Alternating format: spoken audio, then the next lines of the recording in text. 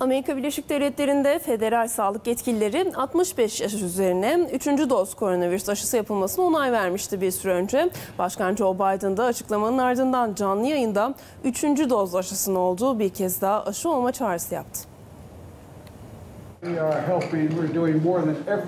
Biz üzerimize düşeni yapacağız. Aşı dağıtımında bize yardım eden COVAX'a büyük miktarda fon sağladık. Dünyadaki herkesin aşı olduğundan emin olmak için çok sayıda fırsatımız var. Herkes aşılamak için dünyadaki en büyük rolü oynuyoruz.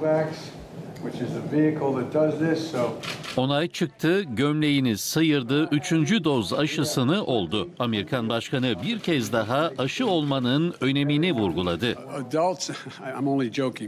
Amerikan Başkanı Joe Biden, federal sağlık yetkililerinin 65 yaş üstüne aşı izni vermesinin ardından canlı yayında 3. doz aşısını yaptırdı. Biden, takviye doz aşısını olmadan önce yapmamız gereken en önemli iş daha fazla insanın aşı olmasını sağlamak dedi.